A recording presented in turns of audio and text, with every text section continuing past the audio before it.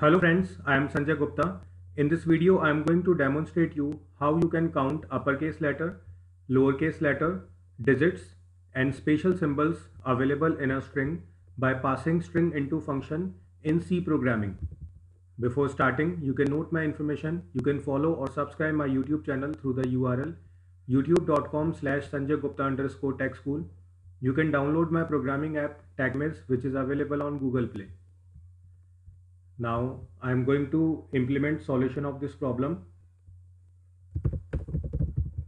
So first I am including a header file that is stdio.h.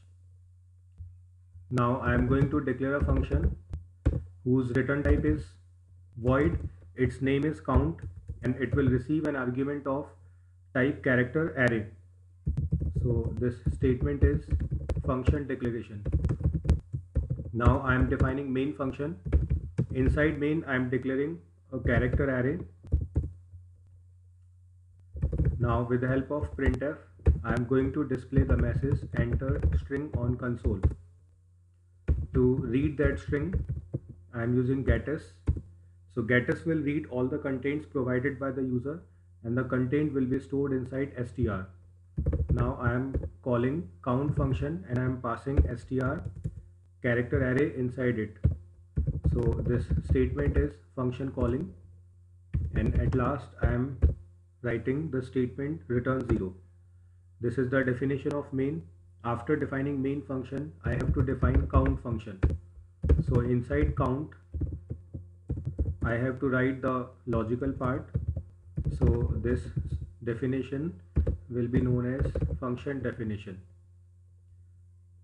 Now I am declaring a variable i then c1 equals to 0 c2 equals to 0 c3 equals to 0 and c4 equals to 0 now I am applying a loop which is initialized with 0 then condition is str of i not equals to null. And then i plus plus. Inside this for loop I am applying first if condition which will check whether the string is containing uppercase letter or not. So this is the condition.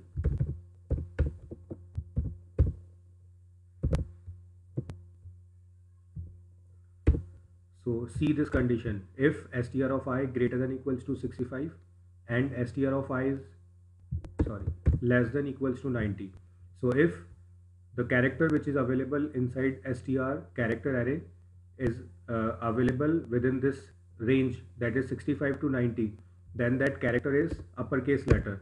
So I am counting C1 plus plus.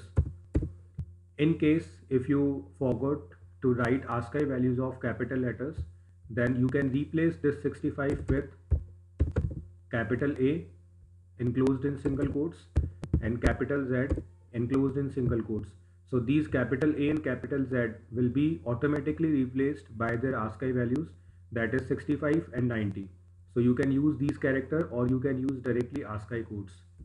So I am using sorry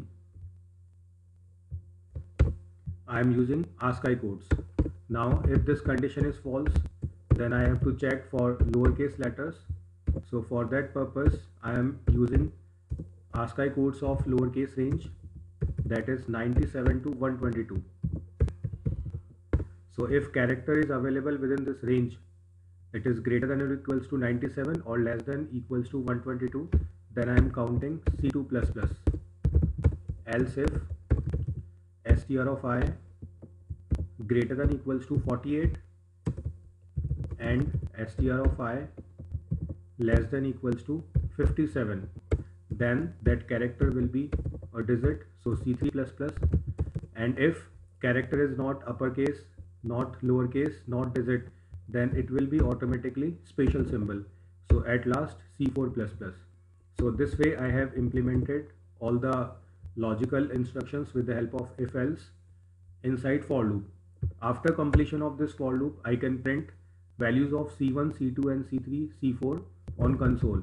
So i am writing a printf statement for that purpose so it will print upper equals to percent d slash n lower equals to percent d slash n digits equals to percent d slash n spatial symbol equals to percent d. Then c1 comma c2 comma c3 comma c4 so this way I have implemented this count function which is counting quantities of uppercase letters, lowercase letters, digits and special symbols available in the string.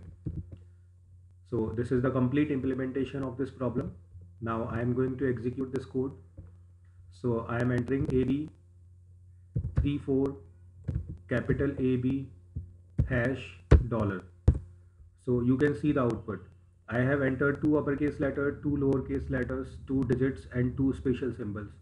So the program is working properly. It is counting each character, uh, whether it is uppercase, lowercase, digits or special symbol. So this way I have implemented solution of this problem in front of you. And remember that I have uh, passed string into a function. So in the count function, I have calculated uh, these values I hope you have understood how I have implemented this program. If you want to watch more programming related videos, you can follow or subscribe my YouTube channel through the URL youtube.com slash Sanjay Gupta underscore tech school. You can download my programming app TechImage which is available on Google Play. Thank you for watching this video.